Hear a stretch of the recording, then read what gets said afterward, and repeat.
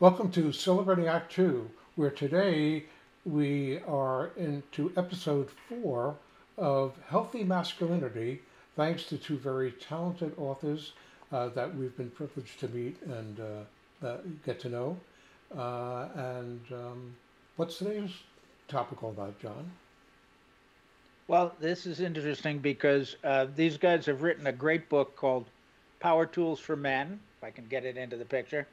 And they've got eight basic dimensions of masculinity, um, healthy masculinity, because after all, in today's world, men are fighting the negative image of toxic masculinity. And it's a shame that somebody came up with that uh, term because it diminishes men in general. And of course, if you diminish men, my opinion is you're also diminishing the people who love them, women who love them, among others, and parents and others. Um, and I think society is made up of men, women, children, fill in the blank. None of us should be diminished. We should all be loved and appreciated for who we are, and we should all be able to develop to our fullest. That's kind of what this book is all about. It's the idea that they've come up with um, a um, what do you call it a a, a, a phrase classics um, C L A S S I C S each one stands for one of their power tools right and the power tools are things like love and connection and so far we've heard three of their um, detailed analyses, and I'm looking forward to this one, the first of the S's, if you will, in in classics. Um, but the important thing is that when you listen to these guys, uh, the authors Leonard Szymczak and Rick Broniec, um, I want you to recognize that these guys have uh, not only come up with what I think is a very simple but detailed explanation how men in today's society can be themselves and be uh, uh, loved and love w- without all the negativity that society wants to throw at us. But they're experts in the field. They've been doing this. Each of them have been doing what I think we call men's issues, men's seminars, and lecturing and um, training sessions, things like that and certainly writing books on the subject for well over 25 years, maybe um, maybe as much as 40 years. They can tell us about their history, but it's you're getting information that is really valuable in a in a method that is kind of easy to accept. Power tools, and uh, I just I'm loving this because when they wrote the book, and, and, and I read most of the book, um, I'm trying to keep up with our series.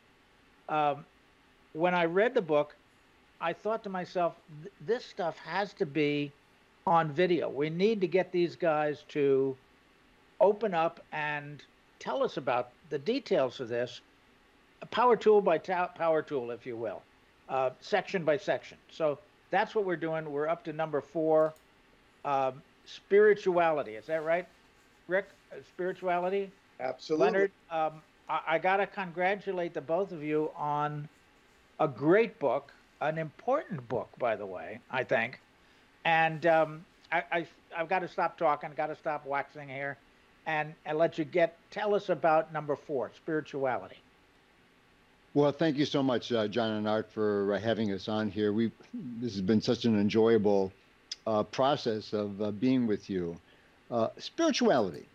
So I, I think of a quote by uh, Carl Jung, who's a um, well-known analyst, and he, he said spirituality of some kind is absolutely necessary for psychological growth. And it's so true that spirituality, uh, some kind of a connection with a higher power. I, I think of Star Wars, you know, the Force, Luke, the, the Force. But they're really saying that we do have a intimate connection with a higher power, something greater than us. And it's important for us to recognize that and to develop a connection with this inner um, source, the force that um, is is part of all creation. I had the benefit of I was I was in a Catholic seminary for eight years, four years of high school, four years of college, and you know it was, a, it was the Catholic seminary, and I learned um, really uh, we, we had to do a lot of meditation and prayer, and that was my first really beginning of really connecting with this um, something other than my ego.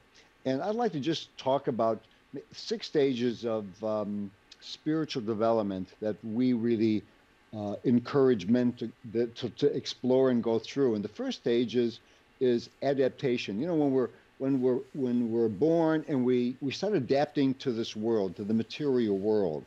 And as we adapt, we start getting further away from our true self, our connection with this uh, uh, higher power. And then we become orphans. Orphaned meaning we're, we're, we're not really connected with this higher power. And that's when we, we have wake up calls to wake up. Let's wake up and, and start to realize that we do have this connection uh, with the Force. And I always think of the Star Wars episode where Obi Wan Kenobi was helping Luke connect with the Force. In many ways, that's what we're trying to do for us men to be connected to the Force so that we have uh, greater connection with creation, with intuition, with something that is is greater than us. And as we do this, we can start breaking free and really, really get more connected to our heart. Because I always believe that when we're really connected to the soul, to the to this force, this higher power, we really are more connected with our heart. And from our heart, we can connect with other human beings, soul to soul, heart to heart. And that's what we're encouraging men to do in deepening this connection. Yeah. Thank you, Leonard. Um, I'd like to share a story about my own spiritual practice. And before I do that, I want to make clear to your audience that spirituality and religion are not the same thing. They can be in certain circumstances, but many of us who are spiritual beings do not practice any kind of religion. It's about a one to one relationship with that higher power, or as Leonard was calling it, the force. When I was seven years old, my parents uh, separated for the first time and they left the Catholic Church. I was baptized as a Catholic. I went to Catholic schools up to that time, and they joined the Church of Self Realization Fellowship, which actually comes out of Encinitas, California, Yogananda, uh, and and my whole life has turned around. Instead of praying, I began to meditate. I stopped eating meat, became a vegetarian. Um, instead of reading the Bible, we read books like Autobiography of a Yogi, books about Eastern philosophy. And I began to embrace my spirituality in a way that I never had before. So I've been meditating now for almost 65 years. Um, and it's become part of my daily practice. It's very important. We'll talk a little more about that later in the, in the session. Um, but how does living a spiritual life help us as men, and how do we embrace spirituality? That's the question. Well, the first step in that is uncovering the messages or beliefs that deny our sacredness. We talked in the last session about how we got many messages that we weren't okay as human beings, as men, uh, if we expressed feelings, we were beat down and things like that. So we begin to deny our own sacredness. And of course, if that happens, we can't really connect with our spirituality. The first step. The second step is recognizing ourselves as sacred and worthy of being loved. Of course, no one can really make me love myself. I have to start with loving myself first, and then I can take in love from Leonard and you, John, and, and you, Art, and other and other men and women in my life, I have to recognize that I'm sacred and worthy of being loved.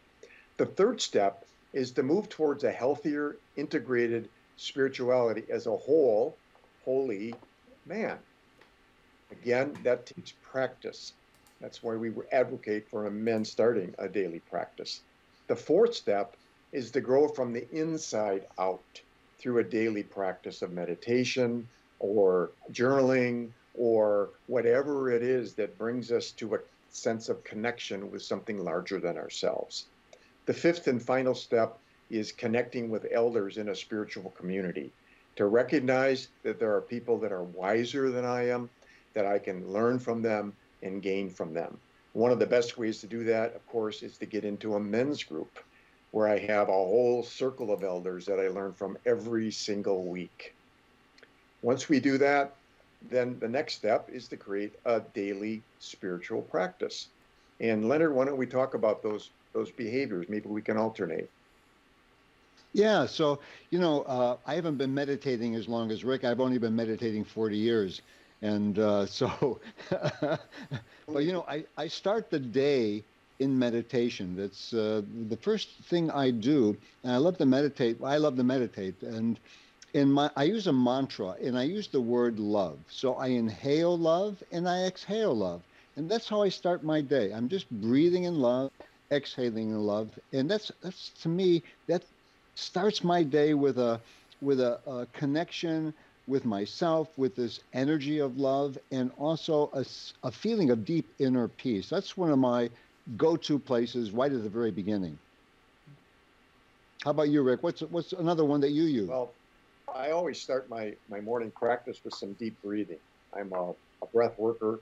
I, I've learned how to do rebirthing, and that instantly puts me into a receptive meditative state.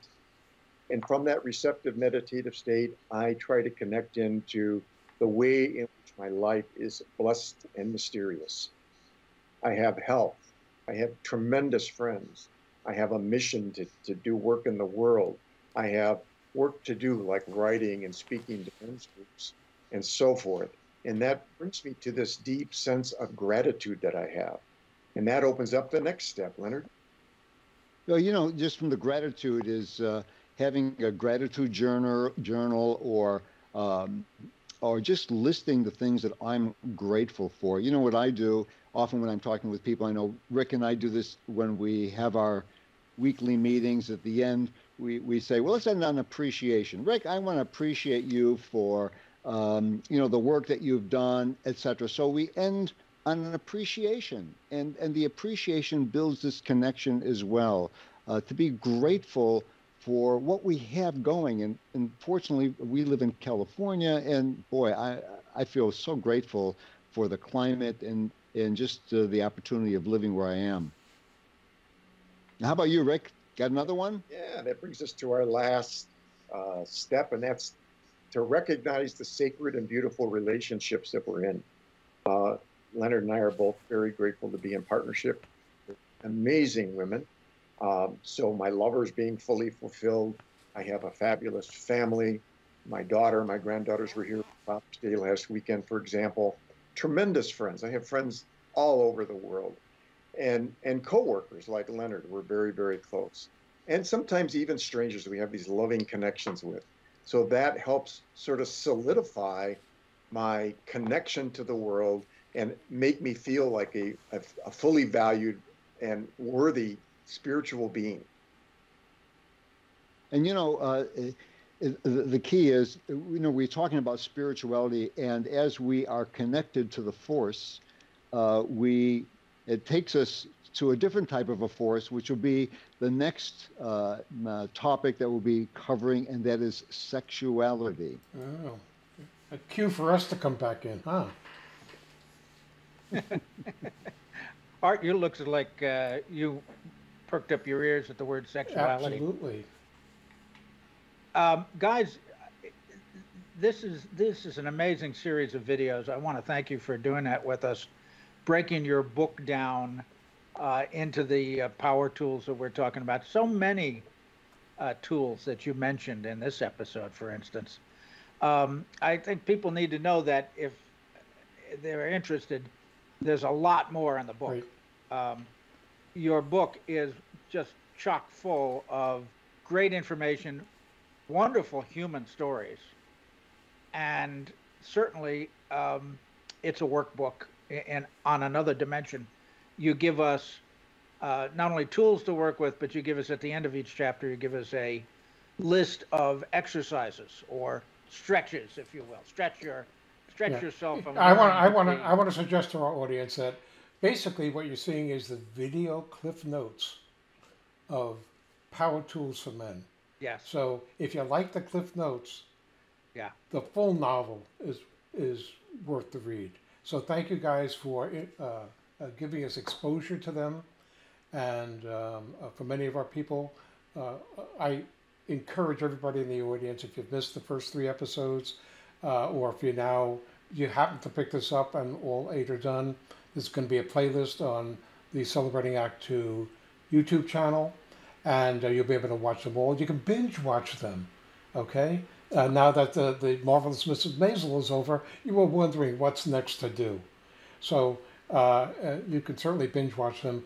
But thank you very much for giving us a taste of what this is all about. Really important information uh, because uh, today, for a lot of men, we read about uh, all the, the mass murders, which are pretty much by men, and that we're expecting that men are can't really be in touch with their feelings, and you make a myth of all that stuff. Is that men really can have feelings and care about one another, uh, and uh, this is a great guidebook for that. So thank you very much. Thank you, Art and John. We really appreciate being here. For more on Celebrating Act Two, visit our webpage, follow us on Facebook, subscribe to us on YouTube, and tell your friends. Celebrating Act Two is the user manual for the second half of your life.